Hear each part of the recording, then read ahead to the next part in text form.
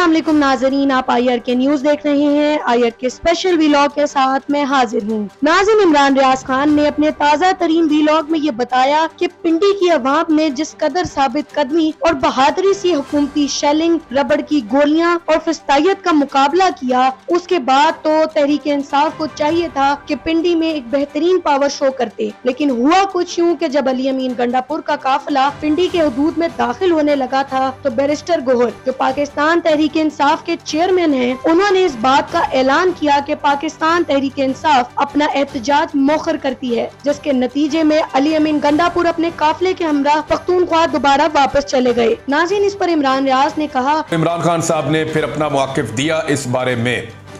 जो हेडलाइन है, इसकी वो ये है कि बैरिस्टर गौर बुजदिल आदमी है, उसे फारिग करें।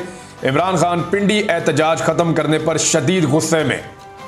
अब इमरान खान साहब ने कहा कि रावलपिंडी में एहतजाज ख़त्म करने पर पीटीआई की आदत पर शदीद गुस्से का इजहार किया इमरान खान साहब ने और बैरिस्टर घोर को पार्टी चेयरमैन के अहदे से हटाने का हुक्म भी दिया है। अटियाला जेल में पाकिस्तान तरीके इंसाफ के रहनुमाओं से इमरान खान साहब गुफ्तु कर रहे थे। इमरान खान साहब ने सवाल किया कि एहतजाज मुखर करने का फैसला किसका था? जिस पर आदम सवाती ने उन्हें बताया कि चेयरमैन पाकिस्तान तरीके इंसाफ, बैरिस्टर गोहर ने एहतजाज मुखर करने की कॉल दी थी। आदम सवाती ने इस मामले पर इमरान खान साहब को ब्रीफिंग देते हुए बताया कि हमारा एहतजाज बड़ा ज़बरदस्त था। लोगों ने मजामत की और शाम तक लड़ते रहे। जिस पर इमरान खान ने उनसे पूछा कि अगर एहतजाज कामयाब था तो मौखर क्यों किया गया? आदम सवाती का जवाब सुनकर इमरान खान ने बरमी का इजहार किया और हुक्म दिया कि बैरिस्टर गोहर बुजदिल आदमी है, उसे फारिग करें। दौरान ब्रीफिंग इमरान खान ने आदम सवाती पर भी बरमी का इजहार किया। और उनसे पूछा कि क्या आपको यहाँ सफाइयाँ देने के लिए भेजा गया है? इमरान खान ने पार्टी रहनुमाओं को हदायत की कि अगले जुम्मे को डी चौक पर एहतजाज की कॉल दें। अच्छा आदम सवाती साहब को ये जो सफाइयाँ देने के लिए आपको भेजा गया, ये इमरान खान साहब ने किस कॉन्टेक्स्ट में कहा, ये मैं आपको बता देता हूँ।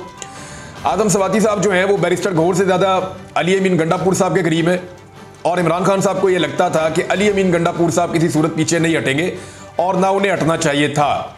अगर बैरिस्टर गौर ने कोई गलत फैसला किया था तो अली अमीन गंडापुर साहब को उनका फैसला बदलाने के लिए ज़ोर डालना चाहिए था और यह कहना चाहिए था कि मुझे इमरान खान ने कुछ और अहकाम दिए हुए हैं। लेकिन जो उस रात हुआ वो मैं आपको बता देता हूँ कि अली अमीन गंडापुर साहब से रबता किया था पाकिस्तान तरीके इंसाफ की मरकजी क्यादत ने, यानी जिनमें बैरिस्टर गौर शामिल थे।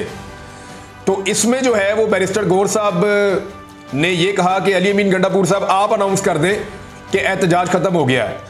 तो उन्होंने इस बारे में साफ़ इनकार कर दिया था उस वक्त, और उन्होंने कहा, नहीं जी, नहीं अनाउंसमेंट आप ही करें। यानी ये अनाउंसमेंट मैं कैसे कर सकता हूँ? मैं तो निकला हूँ और पहुँच रहा हूँ लियाकत बाग। तो ये आप अनाउंसमेंट करें तो अब यहाँ से वापस चले जाएँगे। तो उस वक्त लड़ाई इस बात की नहीं थी कि एहतजाज खत्म क्यों करवाया जा रहा है। लड़ाई इस बात की थी कि एहतजाज खत्म करने की अनाउंसमेंट कौन करेगा? तो ये एक आखिरी रुकावट थी जहाँ पे अली अमीन गंडापुर रुके हुए थे, और उनके कुछ लोग उस रुकावट को क्रॉस कर गए थे। यानी अगर वो थोड़ी और शायद मेहनत करते तो ये रुकावट दूर हो जाती। यहीं पे जो है कुछ पुलिस वाले भी हत्थे चढ़ गए थे पाकिस्तान तरीके इंसाफ के कारकुनों के, जिनको इज़्ज़त के साथ जो है वो रिहा किया गया, उनको रेस्क्यू किया गया। ये अली अमीन गंडापुर साहब ने ये कहानी भी आपको बताई है। अब मामला यह है कि इमरान खान साहब शदीद गुस्से में और उन्होंने इसीलिए कहा कि आपको यहाँ पे सफाइयाँ देने के लिए भेजा गया और ये बड़े गुस्से की अलामत है इमरान खान साहब की। यानी जिन लोगों ने ये विटनेस किया, वो ये कहते हैं कि हमने इमरान खान को इससे पहले जेल में ऐसे गुस्से में और जलाल में नहीं देखा। तो इमरान खान ने पार्टी रहनुमाओं को हदायत की कि जुमे वाले दिन डी चौक पर एहतजाज की कॉल दें। जो मर्ज़ी हो जाए, चाहे दो दिन लग जाए, हर सूरत डी चौक तक पहुँचना है। इमरान खान ने कहा कि अली अमीन गंडापुर लियाकत बाग पहुँच जाता तो बहुत बड़ा लीडर बन जाता। मेरे और आवाम के दरमियान कोई गलत फहमी नहीं है। यानी मेरी और अवाम की सोच इमरान खान साहब कह रहे हैं, एक जैसी है। मैं भी कुर्बानी देने के लिए तैयार हूँ और पब्लिक को भी देख लिया कि जैसे वो कुर्बानी दे रही है। अवाम फैसला कर चुकी है, क्यादत अपना फैसला कर ले, जो बुजदिल है और साथ खड़े नहीं हो सकते, वो हमें छोड़ जाएँ। इमरान खान साहब ने ऐसा लगता है कि फाइनल राउंड को खेलने का फैसला कर लिया है। और देखिए अभी बुध वाले दिन एक बड़ा एहतजाज है, ये पुलिस की एंगेजमेंट बहुत ज़्यादा बढ़ जाएगी। हालाँकि पुलिस बाकी कामों के लिए भी होती है, लेकिन बाकी सारे काम तो अब पंजाब के अवाम भूल जाएँ। अब जो पंजाब की पुलिस है, उसको सिर्फ़ सियासी मकासद के लिए ही इस्तेमाल किया जाएगा। बाहिर ऐसे दिखाई देता है। क्या ये बुध और जुमा इन दो एहतजाजों के बाद पाकिस्तान तरीके इंसाफ हमेशा के लिए ख़त्म हो जाएगी? तो ऐसा नहीं होगा। ये एक बड़ी पॉलिटिकल पार्टी है, एहतजाजों के बाद पार्टियाँ जो हैं, वो और ज़्यादा बड़ी होती हैं। तो यहाँ होश के नाखून लेने पड़ेंगे इस सिस्टम को, और ने ये बात समझनी पड़ेगी कि अवामी सपोर्ट इस वक्त इमरान खान के साथ खड़ी हुई है, और हम इंतहाई गैर मकबूल सियासी जमातों के एक जत्थे को कंधा दिए हुए हैं। और ये जो सियासी जमातों का एक जत्था है, जो बहुत गैर मकबूल है, ये अवामी मसाइल हल भी नहीं कर सकता। तो ये तजर्बा गलत हो गया, इसको तस्लीम कर लेने में पूरे पाकिस्तान की भलाई है। लेकिन अब देख लेते हैं कि सिस्टम फैसला क्या करता है। बहरहाल सिस्टम को एक नए चैलेंज का सामना है। बुध वाले दिन तीन बड़े शहर, पंजाब के, मुल्तान, फैसलाबाद और मियाँवाली इन तीनों शहरों में पाकिस्तान तरीके इंसाफ की बहुत ताकत है। फैसलाबाद वो शहर है, जहाँ पूरे शहर के अंदर पाकिस्तान तरीके इंसाफ ने तकरीबन सारी सीटें जीती हैं। यहाँ तरीके इंसाफ का तोती बोलता है, ताजरों की हमायत याफ्ता जमात नून लीग को यहाँ से बदतरीन शिकस्त हुई है। नून लीग परवेज मुशरफ के दौर में भी फैसलाबाद से नहीं हारी थी। लेकिन इस मरतबा नून लीग तमाम तर फैसिलिटेशन के बावजूद, सारी सपोर्ट मिलने के बावजूद फैसलाबाद में क्लीन स्वीप हो गई है। व्हाइट वॉश हो गया उनको, फ़र्क होगी वहाँ से। तो एक तो है जी फैसलाबाद। दूसरा है मुल्तान। मुल्तान के लोगों को बहुत ज़्यादा पीसा गया, बड़ा जुल्म किया गया वहाँ पे। जिस तरह इलेक्शन के नतज हासिल किए गए, वो सबके सामने है। जिस तरह वहाँ पे गिलानी खानदान को मुसलत किया गया, वो भी सबके सामने है। लेकिन एक दो चीज़ें आपको जहन में रखनी पड़ेंगी मुल्तान की। जब इमरान खान साहब जलसे कर रहे थे ना पूरे पाकिस्तान में, और इन्होंने जलसों की, इमरान खान साहब ने फिफ्टी कर दी थी, बहुत तेज़ी से जलसे करते हुए। ये 2022 की बात है। तो उस वक्त आपको याद होगा अच्छी तरह कि जो इमरान खान साहब का सबसे बड़ा जलसा हुआ था, वो एक मुल्तान में हुआ था। यानी मुल्तान के जलसे को देखकर उनके सियासी मुखालफी को खौफ आता था। तो मुल्तान भी पाकिस्तान तरीके इंसाफ की एक बड़ी ताकत है और जनूबी पंजाब में तरीके इंसाफ का बड़ा ज़ोर है, वहाँ नून लीग बहुत कमज़ोर है। तो इस सूरत हाल में दूसरा शहर मुल्तान होना, ये भी एक बड़ा अच्छा खासा प्रॉब्लम है। और तीसरा मियाँ वाली। मियाँ वाली को आपने अपने जहन में रखना है कि मियाँ वाली बहुत बड़ी आबादी है वहाँ पे, और वो सारी आबादी पाकिस्तान तरीके इंसाफ की है। तरीके इंसाफ को जो सबसे बड़ा मार्जिन मिलता है जीत का, वो भी मियाँ वाली में मिलता है। मियाँ वाली के लोग कैसे हैं, वो भी आप अच्छी तरह जानते हैं। इमरान खान साहब का अपना आबाई इलाका है, वो वहीं पे उनका बचपन गुजरा है। वहीं से वो इलेक्शन लड़ते हैं। पहली मरतबा रुकन असम्बली भी वो वहाँ से बने थे। हर मरतबा इमरान खान साहब वहाँ से इलेक्शन ज़रूर लड़ते हैं, और इस मरतबा भी। पाकिस्तान तरीके इंसाफ की जो सबसे बड़ी लीड है, वो मियाँ वाली से इमरान खान साहब के हल्के से है। तो अब इमरान खान साहब जो है, वो तीसरा शहर उन्होंने मियाँ वाली का इंतखब किया था बुध वाले दिन। अब देखते हैं कि बुध को यहाँ क्या होता है और जुम्मे को इस्लामाबाद डी चौक में क्या होता है। सिचुएशन बड़ी फंस गई है। नाजिन, उसके बाद इमरान रियाज खान ने सुप्रीम कोर्ट के हवाले से गुफ्तगु करते हुए बताया कि मैंने आपको कहा था कि 30 सितंबर का दिन इंतहाई अहम है। आज फैसला होना था कि ये मामला किस तरफ़ जाएगा, क्योंकि जजेस उस ऑर्डिनेंस को ही गलत करार दे रहे हैं, यानी कि इस कमेटी की तश्कील को ही गलत करार दे रही हैं। तो इस कमेटी की तश्कील के बाद बनने वाले बेंचेस कैसे ठीक हो सकते हैं? ये नुकता आज उठाया गया है। उन्होंने कहा कि लगता यूँ है कि काजी फाइजीसा पर उनके बाद आने वाले तीन सीनियर तरीन जजों ने अदम एतमाद का इजहार कर दिया है। इस पर मजीद बात करते हुए इमरान रियाज ने कहा कि अब जो सवाल उठाए गए मैं आपको बताता हूँ, लेकिन पहले आप डेवलपमेंट देख लें कि काजी फायजीसा साहब अदालत में आए। चार जजेज मौजूद थे जस्टिस मुनीब अख्तर साहब अदालत में नहीं आए। बल्कि उनका एक खत मौजूद है, जिस खत में उन्होंने तहफात का इजहार किया है। उन्होंने क्या कहा लेकिन इससे पहले ज़रा कार्रवाई आप देख लें। वहाँ पे अली ज़फ़र साहब आए। उन्होंने कहा जी फुल कोर्ट बना दें। अब मज़े की बात यह है कि तिरसठ ए वाला जो ये जो आ, फैसला है इससे पहले जब दो साल पहले आया था तब पूरी की पूरी नून लीग पूरी की पूरी पीपल्स पार्टी फजल रहमान साहब की पार्टी एम क्यू एम सारी पाकिस्तान की पॉलिटिकल पार्टीज़ कहती थी कि फुल कोर्ट बनाएँ। फुल कोर्ट बनाओ बोने जजो फुल कोर्ट बनाओ उस वक्त ये कहते थे। और सारे सहाफ़ी भी यही कहते थे, फुल कोर्ट बनाए। ये आइन की तशरी का मामला है, फुल कोर्ट बनाए। सारे यही कहते थे। लेकिन उस वक्त जस्टिस उमर ता बंदयाल साहब ने फुल कोर्ट नहीं बनाया और पाकिस्तान तरीके साहब कहती थी ये जो जज बैठे हुए यही ठीक है, फुल कोर्ट बनाने की ज़रूरत नहीं है। और अब ऐसा वक्त आ गया है कि पाकिस्तान तरीके इंसाफ फुल कोर्ट का तकाजा कर रही है और वो सारी जमातें जो फुल कोर्ट के लिए जो छलांगे मारती थी वो सारी जमातें जो कहती थी, फुल कोर्ट बनाए, वो अब फुल कोर्ट बनाने से पीछे हट रही हैं। कादी फायद साहब को भी ये कहा गया कि जी इसमें फुल कोर्ट बनाया जाए। तो उन्होंने कहा इसकी कोई मिसाल, लेकिन ये एक टेक्निकल मामला एक जगह पे आगे फंस गया है। और अगर इस केस में फुल कोर्ट नहीं भी बनाया जाता, फिर भी फुल कोर्ट इस मामले पे तो बनेगा कि प्रैक्टिस एंड प्रोसीजर कमेटी के मामला कैसे चलेंगे। इस पे तो बनना चाहिए। कादी फायद ईसा साहब ने आज से दो साल पहले जो किया एग्जैक्टली exactly वही कुछ आज भी हो रहा है। यानी अगर आप अप्रैल 2023 की बात कर लें, डेढ़ साल पहले की तो उसमें कादी फ़ायदिसा साहब ने मिलिट्री कोर्ट वाले एक बेंच में बैठने से इनकार कर दिया था। ये कहते हुए कि जब तक प्रैक्टिस एंड प्रोसीजर कमेटी के हवाले से फैसला नहीं हो जाता, मैं किसी भी बेंच की तश्कील को नहीं मानता और मैं बेंच के अंदर नहीं बैठूँगा।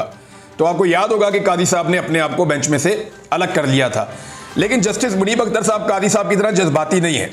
उन्होंने बहुत टेक्निकल काम किया है। और टेक्निकल काम क्या है, वो मैं आपको बता देता हूँ। उन्होंने जस्टिस मुनीब अख्तर साहब ने कुछ नुक्ते उठाए, जिनमें उनका एक नुक्ता तो ये है कि ये जस्टिस मदर आलम मियाँ खेल साहब कैसे बन गए जी इस कोर्ट के मेंबर। हालाँकि ये पिछले बेंच में शामिल ज़रूर थे, लेकिन ये इस बेंच के मेंबर नहीं बन सकते, क्योंकि ये तो एडहॉक जज हैं। और क्या एडहॉक जजेस किस तरह के केसेस सुनेंगे, इस बारे में कोई फैसला हुआ? ज़रा उस बारे में आप रोशनी डाल लें। तो ये बहुत टेक्निकल खेल गए कि एडहॉक जज को आप इस बेंच का मेंबर नहीं बना सकते।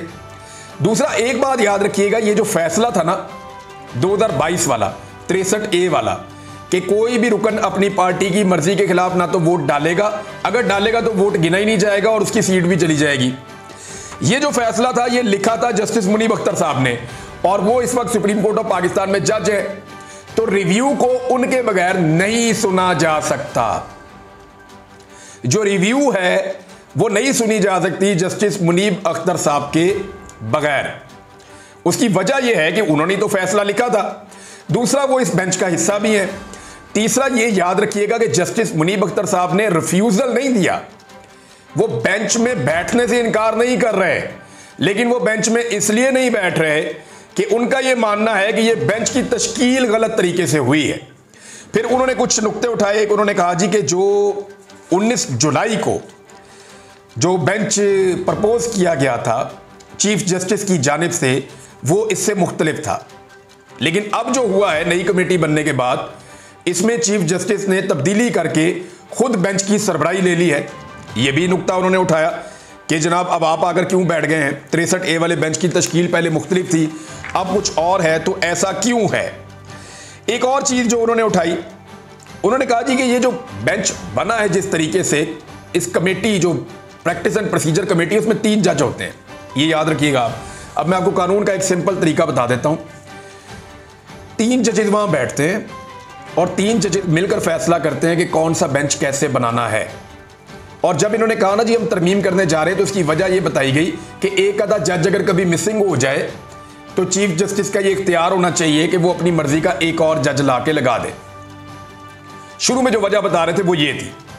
इनके सारे जो जितने भी लोग हैं इनके, वो सारे यही कह रहे थे कि जनाब इसलिए कि कोई जज इधर उधर हो जाता है तो चीफ जस्टिस एक जज को बुला सकते हैं। तो दो रुकन तो हो गए फिक्स। अब मामला यह था कि यही बात उठाई कि जनाब तीन जजेस ने बैठ के एक चीज़ का फैसला करना है। आप दो जजेस बैठकर कैसे फैसला कर सकते हैं, जबकि मंसूर अली शाह साहब एतराज़ करके अपने आप को उसमें से हटाकर बाहर निकाल गए हैं। तो तीन जजेस का फैसला दो जजेस कैसे कर सकते हैं? तीन जजेस ने जो बेंच बनाना था, वो दो जजेस कैसे बना सकते हैं? यानी अगर एक दस रुपये भी बेंच है ना, उसमें से एक जज गायब है तो वो बेंच मुकम्मल नहीं है, वो बेंच नहीं बैठ सकता। तो ये एक और टेक्निकल चीज़ है। और जो जस्टिस कादी फ़ायदीसा साहब ने, मंसूर अली शाह साहब को जवाब लिखा, उस पर भी बड़ा एतराज़ किया, मुनीब अख्तर साहब ने। और वो जवाब जो है, वो टेक्निकल जवाब के बजाय इल्ज़ाम थे, जो मुनीब अख्तर साहब से लगे। और उस पर उन्होंने, उनको अफसोस तो होगा, वो सीनियर जज हैं, और उन्हें बड़ी तकलीफ़ भी हुई तो उन्होंने उसका भी बताया कि जी ये भी गलत हुआ है। तो देखें, अब मामला आकर कहाँ फंस गया है। जस्टिस मुनीब अख्तर साहब ने अपने आप को बेंच से अलग नहीं किया।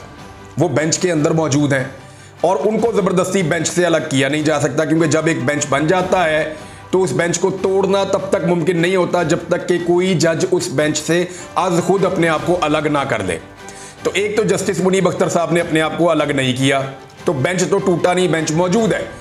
और कादी फायद साहब कहकर गए हैं कि हम उन्हें बनाएँगे उनको बुलाएँगे। नंबर एक तो बेंच मौजूद है। बेंच टूटा नहीं है। दूसरी बात यह है कि जो एतराज़ात हैं, वो तकनीकी नौीयत के हैं। जो एतराज़ात किए हैं जस्टिस मुनीब अख्तर साहब ने तो पहले उन एतराज़ात को एड्रेस किया जाएगा। उनको एड्रेस करने का तरीका ये है कि आप चैम्बर में कर सकते हैं जजेस इकट्ठे बैठकर कर सकते हैं। लेकिन ये जब भी तय होगा, ये फुल कोर्ट के अंदर तय होगा तमाम जजेस बैठकर फैसला करेंगे कि ये जो एतराज़ात उठाए गए हैं जस्टिस मंसूर अली शाह साहब की जानब से जस्टिस मुनीब अख्तर साहब की जानब से, और जस्टिस याजा अफरीदी साहब ने उस कमेटी का हिस्सा बनने से जो माजरत की है तो ये जो एतराज़ात इकट्ठे हो गए हैं, इसको फुल कोर्ट बैठकर डिसाइड करेगा।